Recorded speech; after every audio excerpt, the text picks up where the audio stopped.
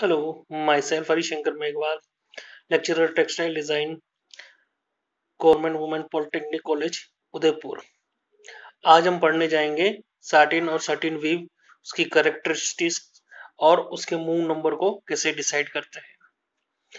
Satin और satin weave twill का ही rearrange होता है। साटिन वारफेस रीअरेंज ट्विल होती है और satin weave face rearrange tulle होती है। साटिन, सटिन का रिवर्स होता है। ये एक दूसरे के जस्ट अपोजिट होती है। साटिन वारफेस होती है और सटिन वेफ्ट फेस होती है। इसकी करेक्टरिस्टिक्स क्या होती हैं, ये हम देखते हैं। पहली characteristics they are either warp face और वेफ्ट फेस।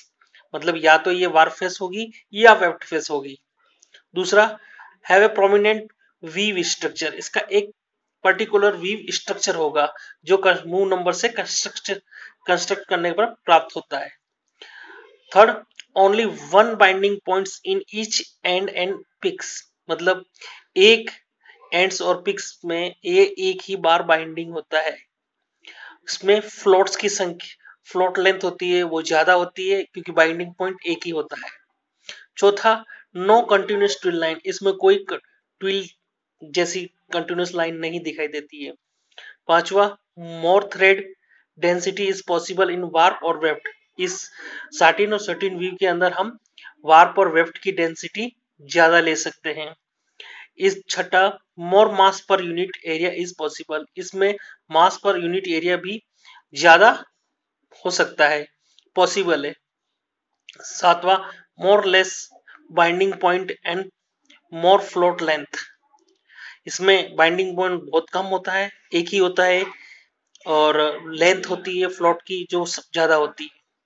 और आठवां, इस व्यू को बनाने के लिए हमें एक मूव नंबर चाहिए होता है, जिसके द्वारा, जिसकी सहायता से हम इस व्यू को बना सकते हैं। लेकिन मूव नंबर को कैसे डिसाइड करते हैं, इसके लिए कुछ नियम्स होते हैं रूल्स बने होते हैं, जिनको हम देखेंगे। मूव नंबर को चूज़ करने के लिए सबसे पहले देखना होगा कि जो हम नंबर ले रहे हैं, वह रिपीट के बराबर नहीं होना चाहिए। मतलब यदि आपकी एट एंड रिपीट है तो आठ एट इसका मूव नंबर नहीं हो सकता। Second it should not be one less than the repeat मतलब आपकी एट एंड है तो eight minus one seven seven भी इसका मूव नंबर नहीं हो सकता। It should not be a factor of the repeat means आठ का जो फैक्टर्स होंगे, वह भी इसमें काम नहीं आएँगे मूव नंबर में। नेक्स्ट चौथा note the first number and the last number इसमें मूव नंबर न तो हम फ़र्स्ट ले सकते हैं और न लास्ट लिखते हैं। इसके लिए हम एक एग्जांपल देखते हैं। एट एंड थर्टीन और थर्टीन भी बनानी है। तो जिस नियम अनुसार फ़र्स्ट और लास्ट नहीं होगा तो एक और आठ नहीं होंगे।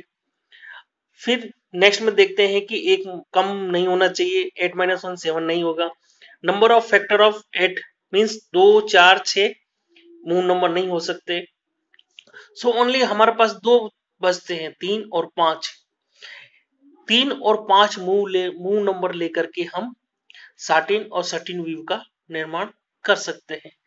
तो मूव नंबर चूज़ करते समय हमको इन चारों रूल्स को फॉलो करना होता है। यदि आप इनको फॉलो नहीं करेंगे तो आपकी जो व्यू बनेगी वह गलत हो सकती है और इरेगुलर बन सकती है या वह आ, सही नहीं बन पाएगी।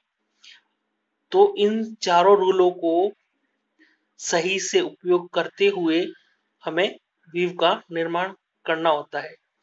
तो साटिन और सटिन रीअरेंज ट्विल वीव है, इसको अरेंज किया जाता है, लेकिन इसमें ट्विल की तरह कोई भी कंटिन्यूस लाइन नहीं दिखाई देती है।